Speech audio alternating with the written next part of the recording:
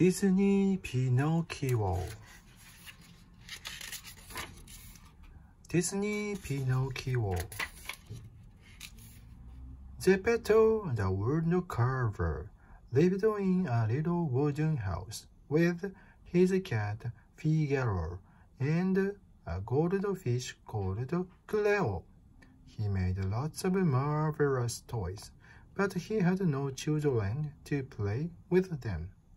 One day, he made a puppet from some pine, pine wood and put strings on it so that it could dance. He called the puppet Pinocchio. When he went to bed that night, Geppetto looked out and saw the bright evening star shining in the sky. Look, he said to Figaro. It's a wishing star. So Geppetto made a special wish. I wish I may, I wish I might have the wish I wish tonight. His secret wish was that little Pinocchio might become a real boy. At that moment, the room where Pinocchio lay began to fill with a dazzling bright light. Out of the light stepped the blue fairy of the evening star who had heard Geppetto's secret wish. The fairy waved her wand over Pinocchio, saying, Little puppet made of pine, wake, the gift of life is thine. Pinocchio sprang to his feet. He could move without strings, and he could talk. The blue fairy told Pinocchio that if he wanted to be a real boy, he must first be brave, honest, and unselfish. Now, living in Geppetto's fireplace, there was a tiny cricket called Jiminy. The fairy said that Jiminy would be Pinocchio's conscience, the little voice inside us that tells us what is right and what is wrong. She told Pinocchio that he must always listen to Jiminy's advice. Geppetto was overjoyed, for now Pinocchio was just like a son to him. But one morning, a sly old fox called Honest John Worthington fellow. So Pinocchio going off to school.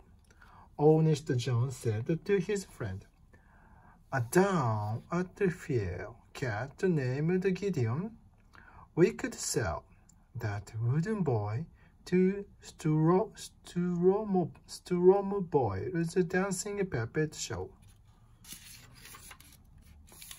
Honest John and Gideon told Pinocchio that he could become a rich and famous stage star.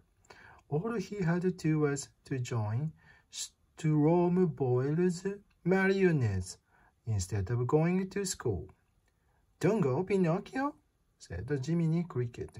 Follow your conscience. But Pinocchio was excited by the thoughts of an actor's life, and he would not listen to Jiminy.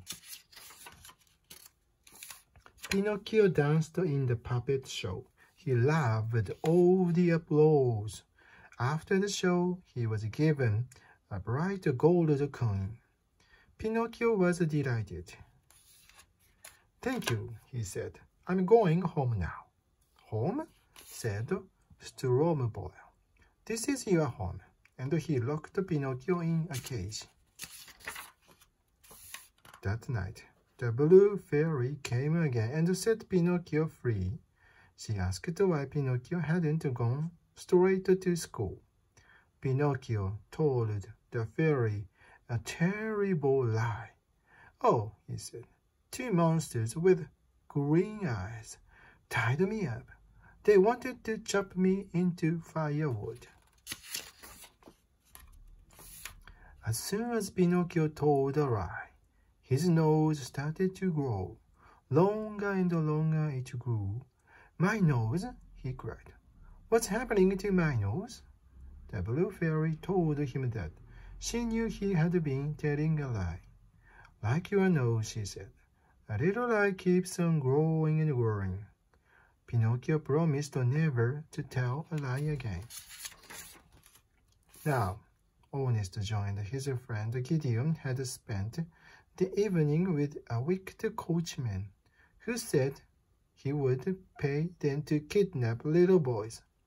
In the street afterwards, who should they meet but Pinocchio running home to Geppetto? They persuaded Pinocchio he would have more fun if he joined some other boys on the coach. But Jiminy Cricket, who was Pinocchio's true friend, secretly climbed into the coach as well.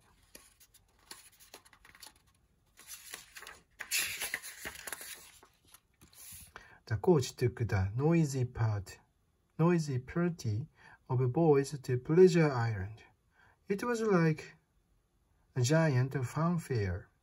All the rides were free, and the boys could be as naughty as they liked. Pinocchio's new friend was a boy called Lampwick, who was the naughtiest of them all.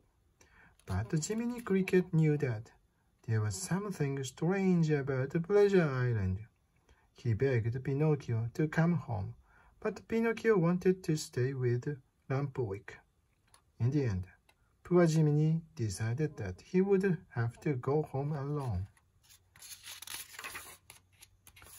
As Jiminy was leaving the island, he saw a boat being loaded with crate after crate of donkeys. One of the donkeys was crying and begging the coachman to let him go home to his mother. You boys have had your fun, answered the coachman. Now you must pay for it. Then Jiminy realized that all the silly boys on Pleasure Islands, Island were turning into donkeys. He raced off to look for Pinocchio, hoping to find him in time. But Lampwick was already turning into a donkey. Pinocchio thought it was only a joke. He laughed and laughed. Then he too started to grow a donkey's tail. His ears became long and hairy. When he saw Jiminy, he cried out, I was stupid to come to this terrible place and behave like a donkey. Please help me. Together, Jiminy and Pinocchio escaped from the island. But when they got home, the house was dark and empty. Pinocchio sat down on the step, he was sure something had something bad had happened to his father. Jiminy and Pinocchio learned from a bird that Geppetto had left home to search for Pinocchio. On the way to the island, he and his boat had been swallowed by a mighty whale called Monstro. But Geppetto was still alive inside the whale's belly. Pinocchio ran to the cliffs with Jiminy and looked down at the ocean. They were both afraid, but they knew that they must rescue Geppetto. Bravely, they jumped down into the deep water and trudged all over the ocean bed. Asking the fish they met where they could find the monster, but no one knew. All this time, Monstro was lying asleep. When he woke up, he was hungry. So he chased a shoal of fish and gulped them down. They tumbled into his stomach, where Geppetto managed to hook one to cook for himself. My word, said Geppetto, it's a heavy one. He hauled it in. And clinging to the fish's tail was Pinocchio. It was clever Pinocchio who thought of a way to escape from Monstro. He stoked up the fire Geppetto had made. It made a lot of smoke, and this made Monstro sneeze. While the whale's mouth was open wide, They paddled their raft out as fast as they could, but Monstro knew they had got away. As soon as he saw their raft, he charged at it. All of them were thrown into the sea, and Geppetto couldn't swim. Pinocchio swam for mile after mile, struggling to keep his father afloat. At last, they reached the shore, where Jiminy Cricket was waiting for him. Geppetto was safe, but the effort of saving his father had been too much for brave Pinocchio. Pinocchio fell to the ground. When Geppetto sat up, his, he found his beloved Pinocchio lying face down in a pool of water. Geppetto thought that Pinocchio was dead. Geppetto cried as he carried his little boy home and laid him on the bed. Then the dazzling light filled the room again, and out of it came the voice of the blue fairy, sang, Awake, Pinocchio, awake. Pinocchio had truly proved he was brave, honest, and unselfish. Now the blue fairy kept her word and gave Pinocchio his life. But this time he was a real boy, not one made out of wood. What a party they all had to celebrate. It was like Christmas.